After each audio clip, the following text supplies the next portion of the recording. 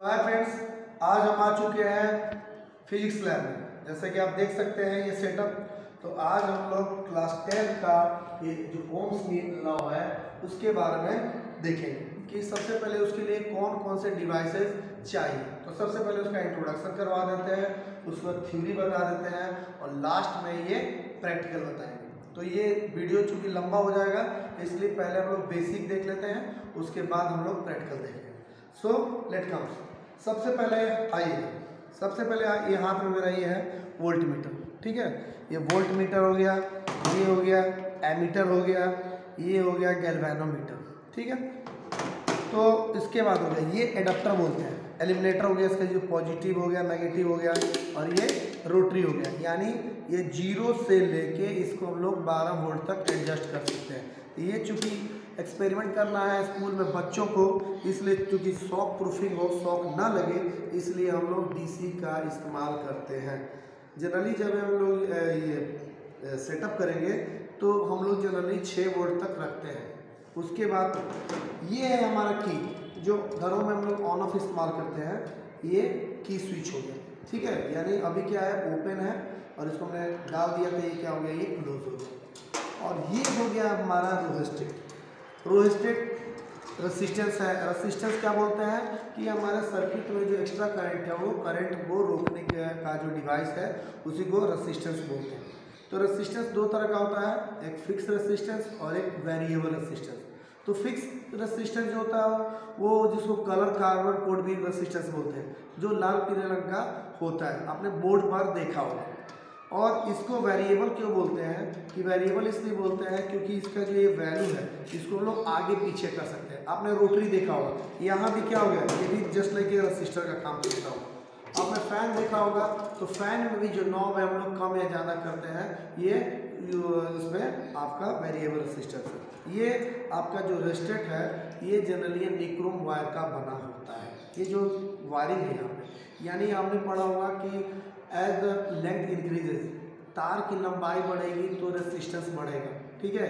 यानी जितना हम पास रखेंगे, यानी जो हम लोग कनेक्शन करते हैं तो यदि कनेक्शन यहाँ से कर सकते हैं तीन यहाँ से, इस पॉइंट से और इस पॉइंट से कर सकते हैं। तो जनरली कभी कभी हम लोग यहाँ से ना करके ये भी करके और यहाँ से ना करके यहाँ पे भी लोग तार को कसते हैं। जो हम लोग सेटअप पे हम लोग देखेंगे अभी जस्ट फॉर इंट्रोडक्शन हम दिखा दे हैं कि ये हो गया रेहोस्टेट तो भाई रेहोस्टेट क्या है? तो रेहोस्टेट जो है वो वेरिएबल रेसिस्टेंस है। तो वेरिएबल क्यों बोला मैंने? क्योंकि हम जो कोई बाज़ार से खरीद के लाते हैं, एक ओम, दो ओम्स का रेसिस्टेंस तो रेसिस्टेंस का जो मेजरिंग यूनिट है, ओम्स होता है। ठीक है? इसका सिंबल ये होता है, ओम्स। रेसिस्टेंस को हम लोग ओम्स में मापते हैं। तो एक ओम्स, दो ओम्स, तीन ओम्स, यानी जितना हमारा वैल्यू है, उतना क्या है कि करंट कितना करंट हमको रोकना है, उसी के अनुसार हम लोग लगाते हैं। जैसे हम हमारे घर में जो टेस्टर होता है तो उसमें क्या है कि अड़सठ किलो ओम्स का रेसिस्टेंस रखते हैं, तब हम लोग डायरेक्टली एक एलईडी को चला सकते हैं। तो जितना ये पास होगा, यहाँ से, इस पोजीशन से जितना पास होगा, वो रेसिस्टेंस कम होगा। और जो जिसको हम लोग इंक्रीज करेंगे, ये दूर होगा तो इसका वैल्यू ज़्यादा होगा। ये हो गया रोस्टेड अब आते हैं हम लोग बारी बारी से। अभी मैंने बोला आपको कि ये वोल्ट मीटर तो ये वोल्ट मीटर के बारे में क्या बात है?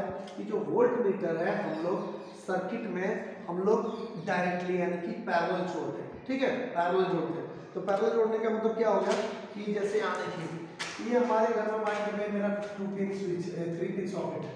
ये मेरा ये जो वोल्ट मीटर है तो वोल्ट मीटर का क्या होगा एक टर्मिनल ये और एक टर्मिनल ये। ये जोड़ दिया मैंने, इसको क्या बोलेंगे इसको? पैरेलल ठीक है? अब पैरेलल हो गया। अब तो चूँकि हमारे घरों में जो सप्लाई है, इसमें 220 वोल्ट आता है तो 220 वोल्ट बहुत ही ज़्यादा है। इसलिए उसको क्या है रिड्यूस करने के लिए हम लोग उसमें हाई रेसिस्टेंस ठीक है? इसमें जो रेसिस्टेंस इस्तेमाल होगा, अभी मैंने वो बताया कि रेसिस्टेंस जो है करंट को ड्रॉप करने के लिए होता है, कम करने के लिए होता है। तो इसमें हाई रेसिस्टेंस का रेसिस्टेंस इस्तेमाल करते हैं एमीटर में, ठीक है? और चूँकि हम लोग जिस सर्किट में जोड़ते हैं तो सर्किट में जोड़ने पे ये हमें वोल्ट बताता है कि भाई इस सर्किट में कितना वोल्ट फ्लो हो रहा है। तो ये हो गया वोल्ट मीटर के बारे में। अब आते हैं नेक्स्ट हम लोग एमीटर के बारे में। एमीटर क्या हो गया कि इसका जो कनेक्शन करेंगे सीरीज़ में तो सीरीज़ का मतलब क्या हो गया? यही सेम चीज़ कर देंगे हम। यही सेम चीज़ कर देंगे एक बल्ब डाल देंगे ये बल्ब मेरा ऐसा हो जाएगा और ये मेरा क्या हो जाएगा? ये एमीटर। एमीटर को ए से शो किया, एमीटर के एक टर्मिनल हमने बल्ब डाल दिया और ये दोबारा एक टर्मिनल हो गया। ये क्या हो गया? ये वाला जो कनेक्शन हो गया, मेरा ये सीरीज़ हो गया। तो एमीटर को हम सीरीज़ में जोड़ते हैं। तो चूँकि सीरीज़ में डालते हैं तो इसमें जो रेसिस्टेंस होगा तो रेसिस्टेंस इसमें लो होता है। ठीक है? अब उसके बाद इसका इस्तेमाल करते हैं करंट सर्किट में करंट पता करने के लिए कि कितना करंट जा रहा है। ठीक है? एक एम्पियर दो एम्पियर तीन एम्पियर जनरली हमारे घरों में 220 आता है तो हमारा नॉर्मल रीड के लिए 15 एम्पियर करंट जो है वो काफ़ी है। ठीक है? इससे ज़्यादा जो फैक्ट्री वगैरह होता है, कि 100 एम्पियर 200 एम्पियर 500 एम्पियर रहता है, लेकिन हमारे नॉर्मल घरों में 5 से 15 एम्पियर तक का कंजम्पशन काफ़ी है। ठीक है? तो ये मैंने आपका एक और बात। जो एक पॉजिटिव वाला टर्मिनल है नेगेटिव टर्मिनल है तो ये टर्मिनल का हम लोग खासा ख्याल रखेंगे। क्योंकि जब हम आपका सेटअप लगाएँगे तो सेटअप मेरा यही होगा। ठीक है? तो ये जो मेरा सेटअप ये हो गया, ये जो पॉजिटिव है नेगेटिव है, यानी कि क्या हो गया? ये पॉजिटिव नेगेटिव मेरा एडाप्टर है इसको एलिमिनेटर भी बोलते हैं बैटरी एलिमिनेटर इसका पॉजिटिव नेगेटिव हो गया और उसके बाद देखिए हमने एमीटर जोड़ दिया है। एमीटर का पॉजिटिव हो गया और फिर हो गया ये रेसिस्टेंस हो गया और यहाँ पे हो गया ये। इसको बोलता है वेरिएबल रेसिस्टेंस यानी ये जनरली यानी कि वेरिएबल रेसिस्टेंस को हम लोग ऐसे शो करते हैं। लेकिन वेरिएबल रेसिस्टेंस को हम लोग जहाँ शो करना होगा तो ये रेसिस्टेंस के साइड पे एरो मार देते हैं। ठीक है? तो ये हो गया मेरा रोस्टेड हो गया। और यहाँ जो मैंने आपको दिखाया था कि ये की हो गया। ठीक है? तो यही सेटअप हम लोग लगाएँगे। हम लोग प्रैक्टिकल सेक्शन में। अब आ जाते हैं हम लोग गैल्वेनोमीटर तो गैल्वेनोमीटर क्या है? जैसे मैंने बताया कि ये मेरा गैल्वेनोमीटर है। तो गैल्वेनोमीटर जो क्या है? ये शो करता है कि हमारे सर्किट में, जो हमने सर्किट में करंट फ्लो हो रहा है तो उसका डायरेक्शन क्या है? उसका डायरेक्शन क्या है? ठीक है?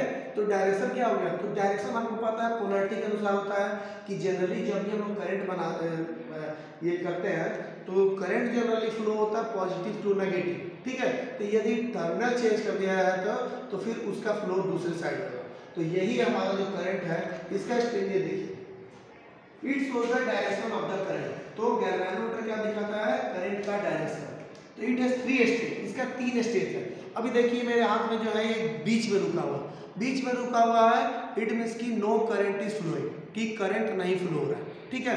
इसलिए दिखाया मैंने कि जी, ये बोला है कि कोई करंट नहीं हो रहा। अभी करंट जो है लेफ़्ट साइड हो गया, यानी जो करंट क्या है, ये आपका राइट टू लेफ़्ट जा रहा है।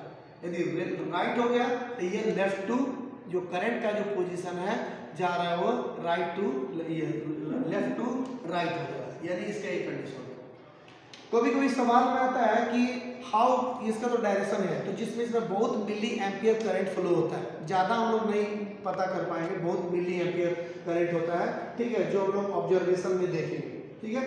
तो अब देखिए यहाँ पे कि इसको हम लोग एमीटर की तरह इस्तेमाल कर सकते हैं। तो ये सवाल आता है क्लास टेंथ में कि how galvanometer acts as ammeter तो एमीटर क्या हो जाएगा?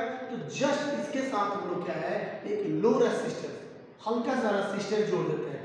तो सर्किट में जब भी लो रेसिस्टेंस जोड़ते हैं, उसी को हम लोग संट बोलते हैं।